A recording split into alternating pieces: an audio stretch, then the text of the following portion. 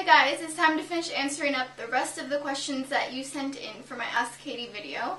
We still have a ton of amazing questions to answer and two more fan videos, so I hope you enjoy the rest of these. So next question is from Hell Kaiser 97. Which Tomb Raider game developed by Crystal Dynamics is the worst and which is the best? So for me, the worst would be Legend and the best would be Underworld.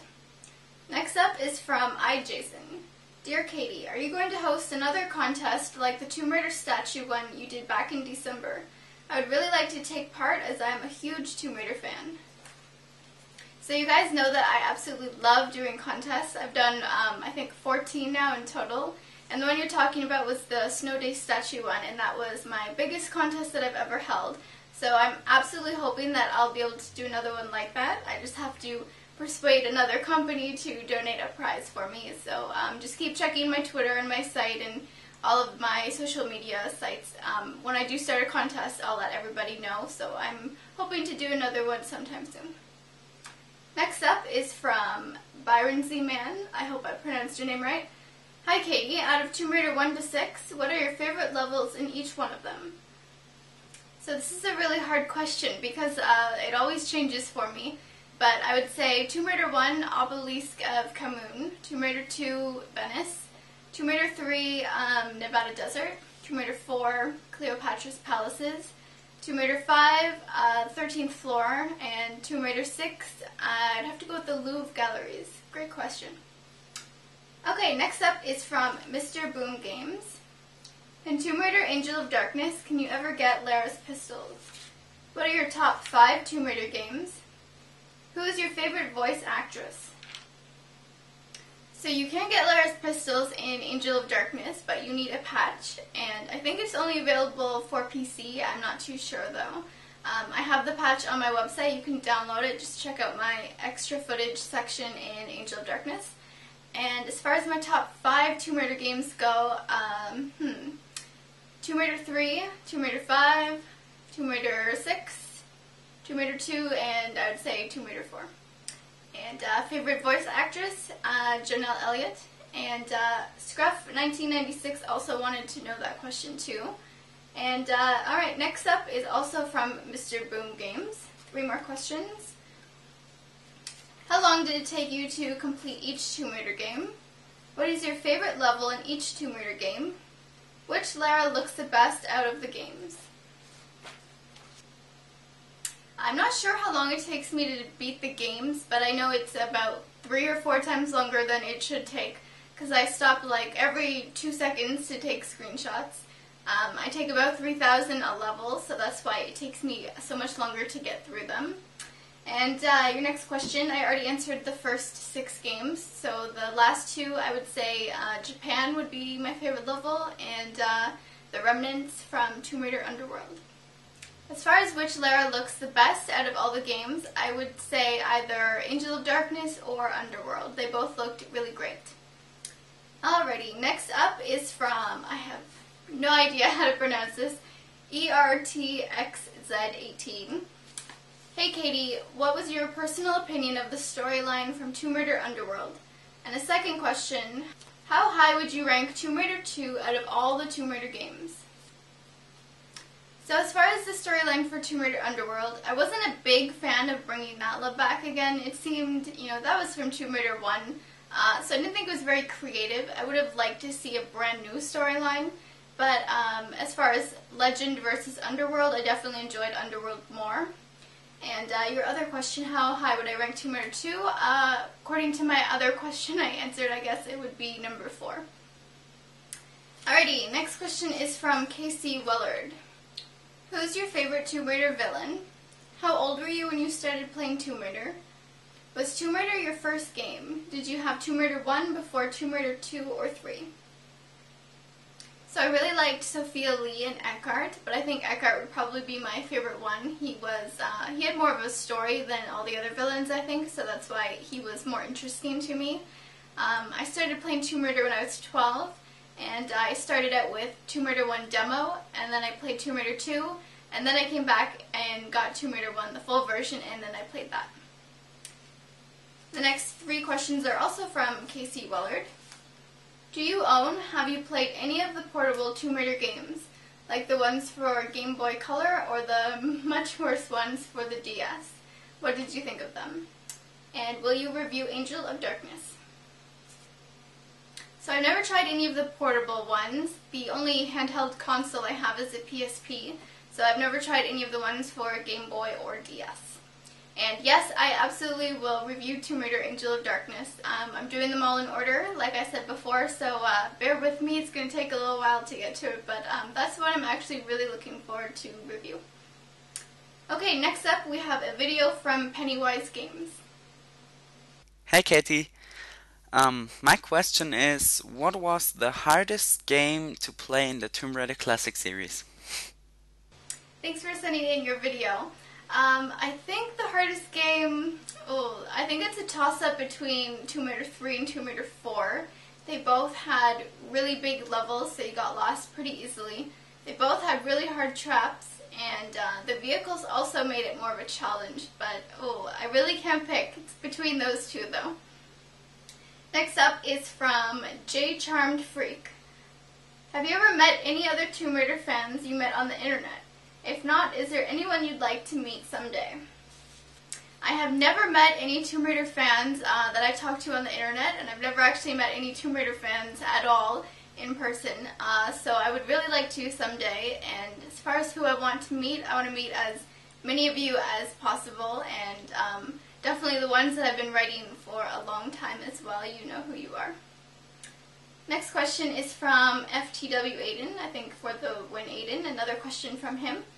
What is your opinion on the Tomb Raider movies? And did you know the people who made Iron Man are making a new Tomb Raider movie? So I enjoyed the Tomb Raider movies. I think I liked the first one better than the second. Uh, they were both really entertaining and uh, I think Angelina did a great job. Uh, I do have some complaints, I guess, about it. They messed up some of the facts, and uh, when the first movie came out, I remember talking to one of my friends at Core Design, and we were talking about, you know, how did they change her eye color, and they got her butler's name wrong. Like, why did they do that?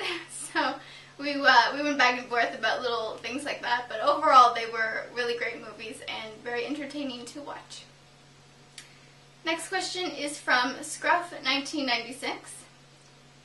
Who is your favorite Lara voice actress? List the Tomb Raider games from best to worst. And if you could add one new move in a new Tomb Raider game, what would it be? So, like I said before, Jonell Elliott is my favorite voice actress. And best to worst, uh, Tomb Raider 3, Tomb Raider 5, 6, 2, 4, 1, uh, Underworld, and Legend. And as far as a new move, maybe something like a drop kick or some sort of hand-to-hand -hand combat again. I really liked that in Angel of Darkness. That was a lot of fun. So maybe something like that would be cool to add in again. And next question is from Family Guy 1990able. Dear Katie, if you had to choose, what is your favorite Tomb Raider story you've written and why? This is a hard question because you're asking me to judge my own work. Um, I think right now my favorite story is A Room in Waiting because it's my last one and I think every time I release a new story that's my favorite one until I write a new one just because it's my newest one and um, I think I improve from each story and A Room in Waiting was particularly tough uh, because I think it was the most complex story I've written so far. It had a lot of um, temples and puzzles and a lot of things to keep track of so I literally had like 20 pages uh, writing down what happened in each temple so I wouldn't get anything messed up. But uh, I think that one is my favorite right now, but when I write another one, that one will probably take over.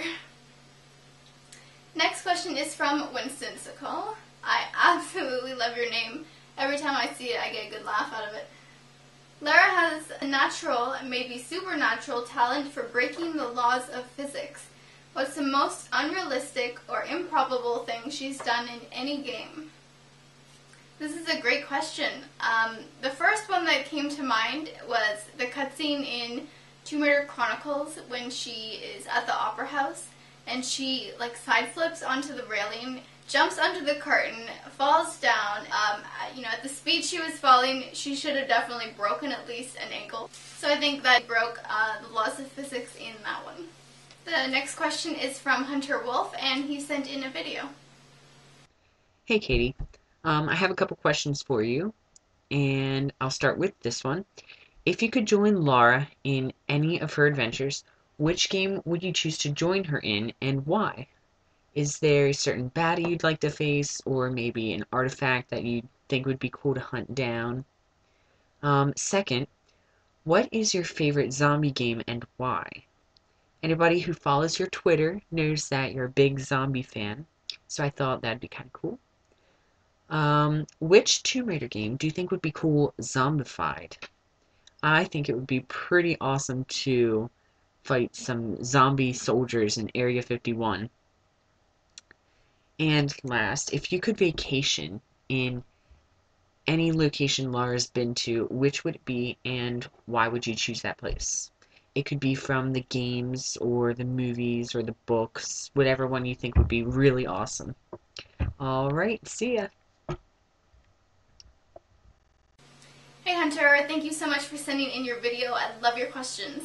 Um, if I could join Lara on any of her adventures, I think I'd choose Tomb Raider 3.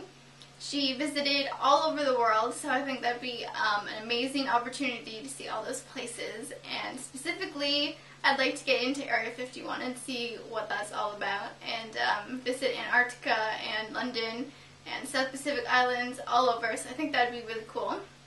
And as far as my favorite zombie game, uh, right now it's Left 4 Dead 2. I seem to play a lot of that, and um, I play with a similar group of people all the time, so we struck up some cool friendships and we all give each other shit when we shoot each other or screw something up, so it's a lot of fun. And um, which Tomb Raider game would be cool zombified? I love that question. Um, I'm thinking Angel of Darkness, maybe the Louvre Storm Drains level. I think that would be cool. It's very dark and grungy and um, I think that'd be a really good setting for some zombies. And Angel of Darkness already has some really weird creatures in it, so I think zombies would fit in there perfectly. I love that question. And if I could vacation anywhere from the games, that is a tough question.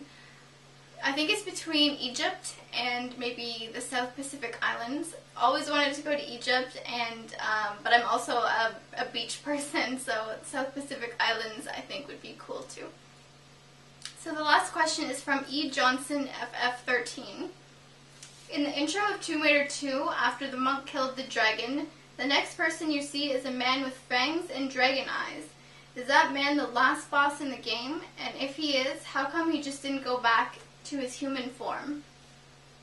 I don't think he's the last boss um, because you can see that he sort of collapsed, but the video gets cut before we see him actually hit the ground. So um, it looks to me like maybe he died, so I don't, I don't think it is the last boss. Alright, those are all the questions. Thank you so much to everybody who sent them in, and of course the fans that sent in videos as well. I had a lot of fun answering your questions, and uh, we will definitely do this again sometime. So take care, and I will see you guys soon.